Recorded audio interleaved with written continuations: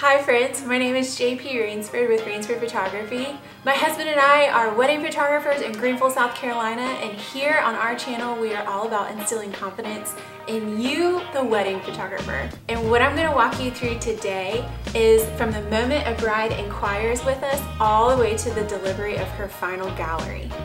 Um, sorry, I can't keep going with this video. This room is a mess. I've got to clean up. And just bear with me.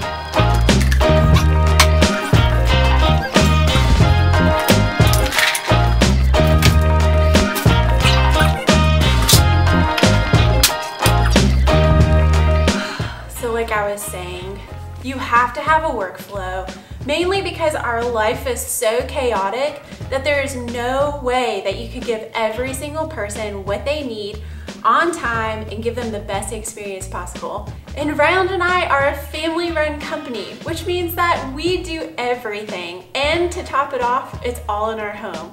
We have two kids, and as you can see, we have tons of stuff going on around us all the time. I didn't even move that pile of laundry. I'm gonna let that stay there. So a workflow allows for us to ensure that we give every single bride and groom the best experience possible. I know that a lot of photographers have this problem. You're booking 15, 20, 25, 30 weddings, and you're like, where am I in every single bride? Did they get their bridal guide? Did, did I schedule that engagement session? Has that person paid their down deposit? Well, come along today and I'm gonna show you exactly what we do. So hopefully you can create a workflow of your own and have confidence as you are booking and photographing weddings.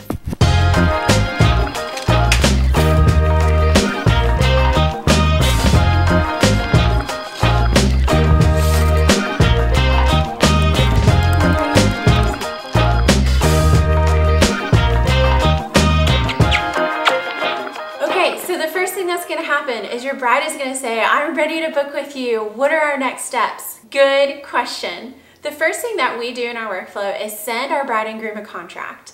Once we know that they have signed their contract, here are the next few steps that our bride and groom will take.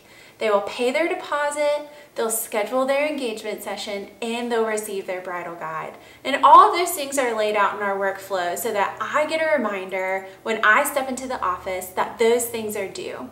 So when I look back, I can see exactly who's paid their deposit, who has their bridal guide and who's waiting to confirm their engagement session. So your bride has paid their down deposit, they've received their bridal guide, they've had an incredible engagement session with you. What comes next? For us, we have a couple different forms that we send our girls to make sure that we get to know them and that we have all of their details straight for the wedding day. And these forms really help us as we do a couple different things. First, when I help make our girls' photography timeline, I need to know exactly what's happening on their wedding day.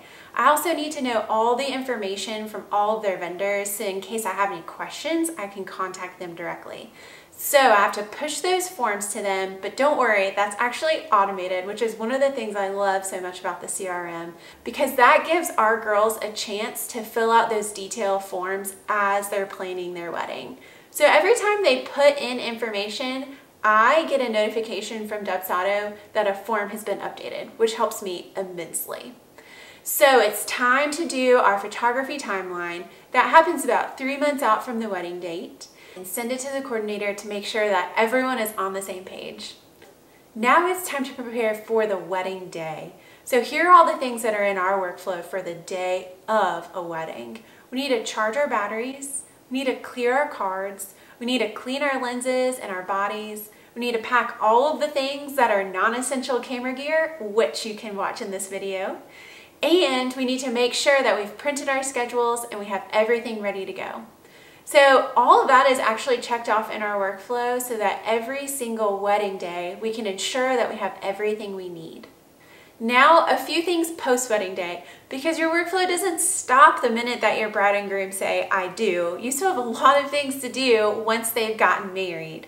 So when we come home, we load all of our cards, and then we create a vendor and a preview gallery. And that's part of our workflow, is to send the preview gallery and the vendor gallery, both to our couple and to all the vendors that we work with. Then the last few things in our workflow, we send the final gallery, we send our final package, and finally, we send a questionnaire to each bride and groom asking them, how did we do? And it's just a really great way for us to get a pulse on their wedding experience with us and see if there's anything that we need to change for a future bride and groom. So a few pro tips for you because it's taken us a while to actually refine our workflow and get it to the point where we love it and we don't feel like a slave to our workflow. So first things first, just start with the things that you have to deliver to your client and then go back in and put in the steps that will allow for you to get there. So an example of this would be that our bride and grooms need to schedule an engagement session with us. So we have a reminder that gets emailed to us through Dubsado that says, two weeks after the bride and groom has paid their down deposit, schedule the engagement session. Plain and simple as that. We don't have to have a ton of dings coming to us, reminders where exactly they are in their workflow. Just two weeks afterwards, schedule their engagement session. Okay, so my last pro tip for you I highly encourage you to invest in a CRM. But uh, what does CRM stand for again? Customer Relationship Management. Good thing Ryland's here. cu customer? Or is it client? Customer. Customer Relationship Management. I don't know. It's just a thing that keeps us in line because we have so much going on and it keeps our deadlines on time and ensures that we're giving every person the best experience possible. Now I know our companies are really expensive and there's a lot of things that we pay for. I get that. Running a business is a lot of work and there's a lot of things to do in it. And the last thing that you want to do is to have your couple not get something that they need on time and to have it look bad on you.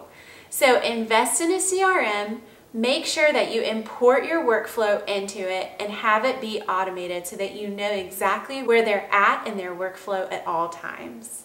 I really hope that this has been helpful, that it's given you a template for creating your own workflow. If you have any questions about our workflow or maybe something that you didn't feel like I explained well enough, please leave a comment below. I would love to answer some more of this for you.